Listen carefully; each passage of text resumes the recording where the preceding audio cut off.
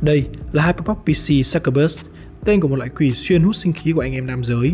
Sở hữu nó có cái tên như vậy bởi vì ngoại hình của nó không chỉ trắng trẻo, mượt mà đầy hấp dẫn mà còn được trang bị rất nhiều lỗ, sẵn sàng hút thổi cho người dùng một cảm giác thoải mái và sảng khoái nhất khi sử dụng PC vì không lo bị quá nhiệt. Trong video ngày hôm nay, hãy cùng bọn mình khám phá nó nhé!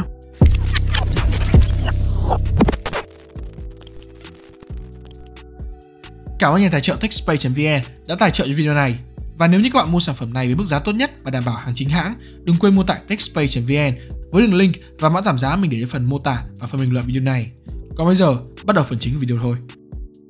Về cơ bản thì concept bộ PC này cũng rất đơn giản, làm sao để build bộ PC sử dụng tông trắng là chủ yếu, với các linh kiện không cần quá tối ưu thiên về mặt mức giá, mà nó là sự cân bằng giữa ba yếu tố, hiệu năng, giá tiền và tất nhiên là mặt thẩm mỹ. Đây cũng là một đề bài khá phổ biến và dễ thực hiện khi build bộ PC phong cách này. Nó dễ hơn rất nhiều so với các bạn phải tối ưu về giá cả, lựa chọn các linh kiện rẻ nhưng có màu trắng. Mà thường với giá tiền này, việc sơn hay hoàn thiện màu trắng của các dòng sản phẩm này nhìn rất dại và không được sang cho lắm. Để phục vụ nhu cầu chơi game hiệu năng cao, CPU sử dụng ở đây là AMD Ryzen 7800X 3D sẽ là một sự lựa chọn hoàn hảo.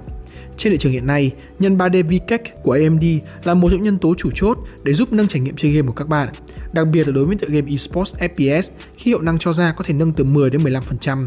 Điều mà trước đây bạn phải có một chiếc VGA đời cao hơn thì mới có thể làm được. Đi kèm với chiếc CPU này sẽ là mainboard B650 MSI Gaming Plus. Đây là một chiếc mainboard giá rẻ nhưng lại có hiệu năng cao và ngoại hình bắt mắt. Các phần heatsink được mạ bạc cùng với những họa tiết đậm chất gaming mang một vẻ trẻ trung, phù hợp với những bộ PC tông màu trắng. Điểm thú vị khi lựa chọn dòng mainboard này đó chính là trên những phần sinh của nó được điểm một vài chi tiết sơn xanh ngọc phản quang, tình cờ lại rất cùng tông với các linh kiện khác như tản, RAM và VGA. Sản phẩm này sử dụng socket AM5 hỗ trợ 4 khe RAM DDR5 đến tới 6800Hz. Vậy nên chúng ta có cặp RAM đến từ nhà G-Skill là Trident Z với tổng dung lượng là 32GB, bus hỗ trợ là 6000MHz. Trong một bộ PC, RAM là một thành phần tuy nhỏ nhưng vẫn mang một vai trò rất quan trọng trong toàn bộ thẩm mỹ của bộ PC. Vậy nên, đối với việc nó đứng giữa dàn linh kiện màu trắng sáng như này, mình sẽ vẫn chọn hai thanh RAM màu trắng để mọi thứ trở nên đồng bộ với toàn bộ linh kiện hơn. Đặc biệt, sản phẩm này còn được trang bị một giải LED RGB mềm mại có thể điều chỉnh màu sắc thông qua mainboard. Theo quan điểm của mình, một bộ PC muốn tối giản, muốn thoáng mắt nhất thì nên lựa chọn tản nhiệt nước All-in-One. Mẫu tản mà mình tin tưởng và lựa chọn là Deepcool LT520 phiên bản màu trắng. Lợi thế của tản nhiệt nước All-in-One là nó không bị to nạc như tản nhiệt khí. Cùng với đó là phần bơm tiếp xúc với CPU hầu hết sẽ được trang trí toát lên một vẻ riêng đối với từng thương hiệu. Như chiếc LT520 này sẽ được trang bị giải LED RGB bắt mắt. Đặc biệt, đây là bộ tản vuông nên rất hợp với dòng case đang được lựa chọn ở đây. Thậm chí, ở nhiều góc độ, nó còn phù hợp hơn chính tản tới từ cùng hãng.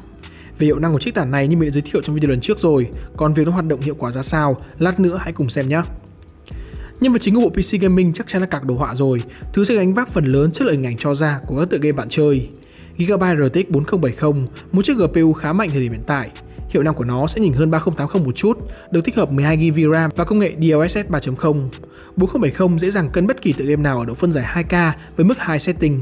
Bên cạnh đó, đối với những người build máy tông trắng theo chủ nghĩa tối giản, Gigabyte Aero sẽ là sự lựa chọn tối ưu nhất ở thời điểm hiện tại.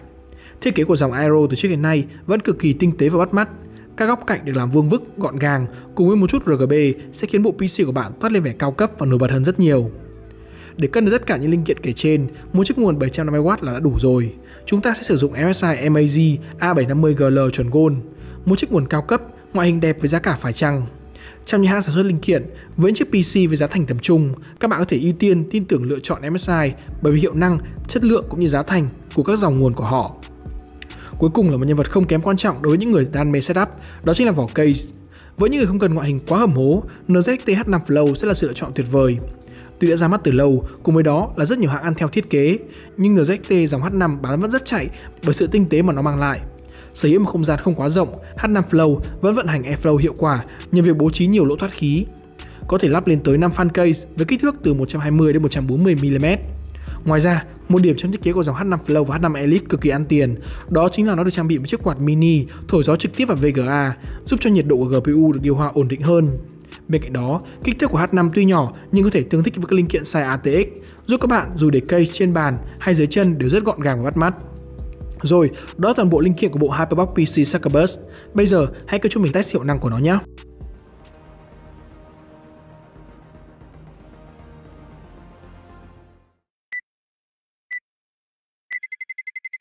Let's roll.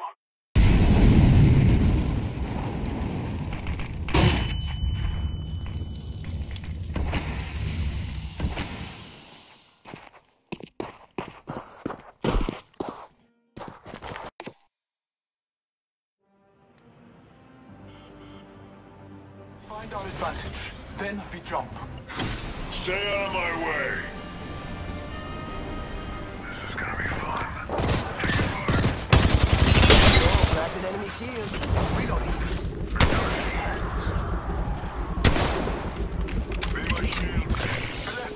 Cracked an enemy shield.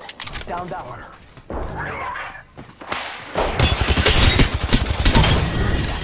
Reloading. Hey, I leveled up. Attention. For a picking up.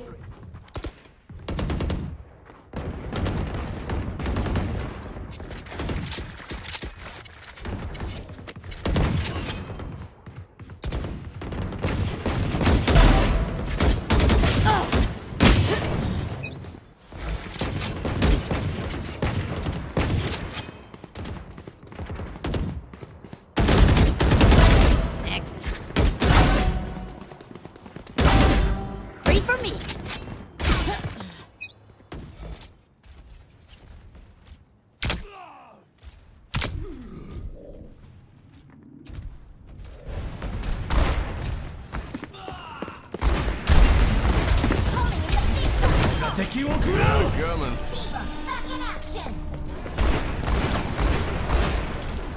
tree of life is ready.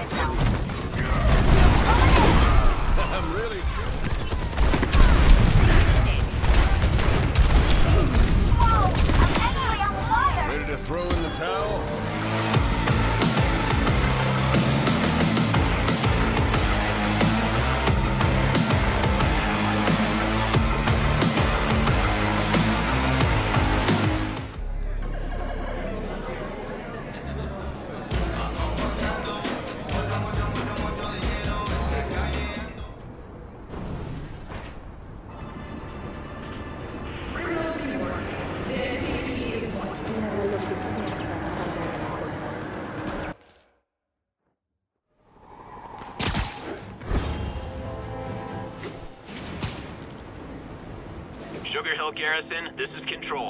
What's your status? 10-4, this is APC Sierra. Spider-Man Control. Weapons free. Clear to engage. Hey, does this turn into a robot? Weapons system down.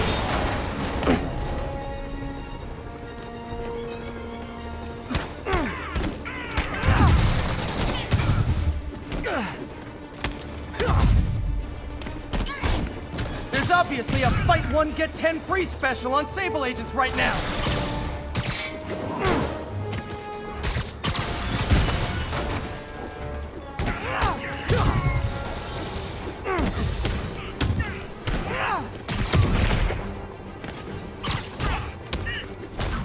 Ok, đó toàn bộ gì bọn mình muốn chia sẻ cho các bạn về bộ PC Hyperbox Suckerburst đến từ nhà tài trợ là TechSpace. Nếu như các bạn muốn build những bộ PC như thế này hoặc tối ưu hơn với giá thành, hiệu năng và kể cả thẩm mỹ, đừng quên tham khảo đường link mình để trong phần mô tả và phần bình luận video này. Còn bây giờ, đừng quên bấm like, share và đăng ký Instagram ủng hộ mình. Xin chào và hẹn gặp lại các bạn rất sớm thôi.